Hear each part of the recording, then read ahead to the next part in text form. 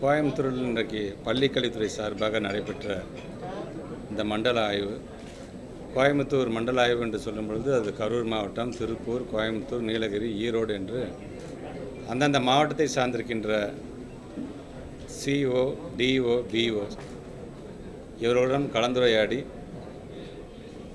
Field report மாதிரி அங்கே என்ன நடந்து கொண்டிருக்கின்றது நம்மளுடைய டிபார்ட்மெண்ட் சார்பாக இன்னும் வேறு என்னென்ன செய்யலாம் எப்படி மேம்படுத்தலாம் என்கின்ற வகையில் பல கருத்துக்கள் பரிமாறிக்கொள்வது என்பது அது வழக்கமான ஒன்று.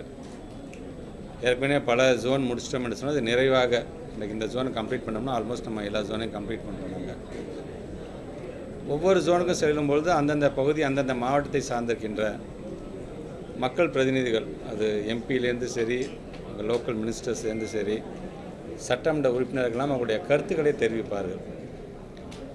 அந்த கருத்துக்களை அவர்கள் தெரிவித்த பிறகு அது சம்பந்தமான அந்த விவாதம் என்பது அடுத்தடுத்து மாதம் மாதம் நடைபெற இருக்கின்ற அந்த சிஓ மீட்டிங்லையும் அதற்கு ஒரு விவாத பொருளாக விவாதிக்கப்படும்.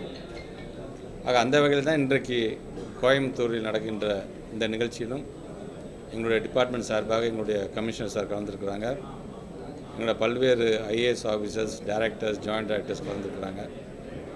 ஒரு நல்ல ஒரு ஏற்பாடை செய்திருக்கின்ற நமது மாவட்ட ஆட்சித்தலைவருக்கு என்னுடைய நன்றியை சொல்கிறேன் அதேமாதிரி நம்முடைய கார்ப்பரேஷன் கமிஷனர் இன்றைக்கி நல்லா அழகாக ஒரு கனவு மெய்ப்பட வேண்டும் என்கின்ற ஒரு திட்டத்தை இன்றைக்கு பள்ளி மாணவ செல்வங்களுக்காக இன்றைக்கு அதையும் தொடங்கியிருக்கின்ற அவருக்கும் என்னுடைய நன்றிகள்.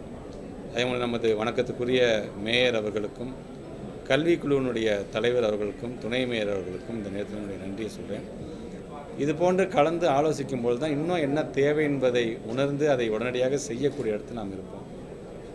மாண்புமிகு முதலமைச்சர் எந்த அளவுக்கு இந்த கல்வித்துறைக்கு அதுவும் பள்ளி கல்வித்துறைக்கு என்று முக்கியத்துவம் வழங்குகிறார் என்பதை கண்கூடாக பார்க்க முடிகின்றது. பல திட்டங்களை நம் பள்ளி நம் பெருமை சார்பாக உருவாக்கப்படுகின்ற எஸ்எம்சியாக இருந்தாலும் சரி இல்லம் தேடி கல்வியாக இருந்தாலும் சரி நான் முதல்வன் திட்டமாக இருந்தாலும் சரி கெரியர் கைடன்ஸ் முதற்கொண்டு இன்றைக்கு பள்ளி கல்வித்துறைக்கென்று கிட்டத்தட்ட இந்த பதினோரு மாதத்தில் பல திட்டங்களை இன்றைக்கு அறிவித்துக் கொண்டிருக்கின்றார். அந்த இந்த வகையில் இன்றைக்கு இந்த கூட்டமும் மிகவும் எங்களுக்கு பயனுள்ள கூட்டமாகத்தான் அது அமைந்திருக்கிறது என்பதை தெரிவித்துக் கொள்கிறேன். கூட்டத்தொடரில் நான் சொன்னது தான் நான் ஒவ்வொரு தொடக்க பள்ளியிலேருந்து மிடில் ஸ்கூல்லேருந்து சரி ஹை ஸ்கூல் ஹையர் செகண்டரி ஸ்கூல்லேருந்து ஆல்மோஸ்ட் பார்த்திங்கன்னா ஒரு கணக்கு நம்ம எடுத்தது மட்டுமே பார்த்திங்கன்னா ஆல்மோஸ்ட் ஒரு டுவெல் தௌசண்ட் த்ரீ ஹண்ட்ரட் ஸ்கூல்ஸ்க்கு மேலே இருக்குது அதில். இன்றைக்கி அதெல்லாம் டெமாலிஷ் பண்ண சொல்லி நம்ம ஏற்கனவே நம்ம கொடுத்துருக்குறோம் நம்ம அதில். அது எதெல்லாம் டெமாலிஷ் பண்ணிகிட்டே வருமோ அதெல்லாம் உடனடியாக பள்ளி கட்டடங்களை கட்ட வேண்டும் என்கின்ற வகையில் தான் இன்றைக்கி நம்ம உத்தரவிட்டிருக்கோம் அதை தான் இந்த கூட்டத்திலையும் நாங்கள் பேசியிருக்கோம். ஏன்னா அதிகமாக முக்கியத்துவம் தர வேண்டியது அதுதான். ஏன்னா பள்ளிக்கூட்டத்தை இடிச்சிட்டாங்கன்னா ப மரத்தடியில் உட்காந்து குழந்தைங்க படிக்கிறார்கள்ன்ற அந்த குற்றச்சாட்டை தவிர்க்கப்பட வேண்டும் என்பதற்காக அதில் நாங்கள் வந்து அதிகம் கவனம் செலுத்தி கொண்டிருக்கின்றோம். மிக விரைவில் ஏன்னா உங்களுக்கே தெரியும் நம்முடைய மாண்பு முதலமைச்சர் அவர்கள் வந்து பேராசிரியர் அன்பகனார் பள்ளி மேம்பாட்டு திட்டம் என்ற வகையில் கிட்டத்தட்ட இந்த அஞ்சு வருஷத்தில் அடுத்த அஞ்சு வருஷத்தில் ஏழாயிரம் கோடி ஒதுக்கப்படும். முதல் வருடம் ஆயிரத்தி முந்நூறு கோடி ரூபாய் இதற்கென்றே ஒதுக்கப்படும் என்று சொல்லியிருக்கின்றார்கள். அதில் அந்த பள்ளி கட்டிடம் வகுப்பறைகள் மட்டும் இல்லாமல் அங்கே இருக்கின்ற வேறு லேப்ஸாக இருந்தாலும் சரி அங்கே இருக்கின்ற கழிவறைகளாக இருந்தாலும் இதுவும் அதில் சேர்த்துக் கொள்ளப்படும் என்று சொல்லியிருக்கிறார்கள். ஆக உடனடியாக அதை செய்து தருவோம். மாணவர்கள் வந்து சமீப காலமா அத்துமீறல்கள் வந்து அதிகமா நடந்துட்டு இருக்கு இதுக்கு காரணம் வந்து போதை வஸ்துகள் வந்து மாணவர்களுக்கு எளிதாக கிடைக்குது. இதை தடுக்கிறதுக்கு பள்ளி கல்வித்துறை என்ன மாதிரியான நடவடிக்கை எடுக்கும் ஏற்கனவே நடந்து முடிந்த இந்த மாநாடு ஒரு மூன்று நாட்கள் நடந்த ஐஏஎஸ் ஐபிஎஸ் மாநாடு நடந்தது. பல கருத்துக்கள் பரிமாறப்பட்டது. பல கருத்துக்கள் பரிமாறும்பொழுது கூட அங்கே இருக்கின்ற அதிகாரிகளாக இருந்தாலும் சரி துறையை சார்ந்திருக்கிற அமைச்சர்கள் ஒவ்வொருவரும் பேசும்பொழுது எதுவாக இருந்தாலும் பள்ளியிலிருந்து தான் தொடங்க வேண்டும் ஒரு மாற்றத்தை உருவாக்க வேண்டும் என்று சொன்னார் என்ற கருத்துக்கள் தான் வந்தது.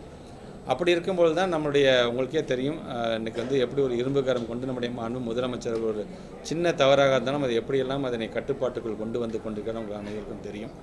இது நீங்கள் இரண்டு வருட காலமாக இந்த குழந்தைகளுக்கு வந்து பார்த்திங்கன்னா இந்த கற்றலே இல்லாமல் போயிடுச்சு. இந்த கற்றல் இல்லாத போது அந்த குழந்தைங்களுக்கு அந்த பிஹேவியர் மாறுது. ஸோ அதை எப்படி மீட்டெடுக்க வேண்டும் என்கின்ற வகையில் தான் இன்றைக்கு வந்து பல ட்ரைனிங் நம்ம கொடுத்துருக்கோம். நான் ஏற்கனவே பேசும்போது சொன்ன மாதிரி தான். யூனிசெஃபாக தான் சரி நலந்தாவை போன்ற இந்த அமைப்புகள்லாம் இன்றைக்கி வந்து உதாரணத்துக்கு எங்களுடைய எஜுகேஷனுக்கு பேக்வர்ட் பிளாக் ஒரு நாற்பத்தி நாலு பிளாக் இருக்கின்றது.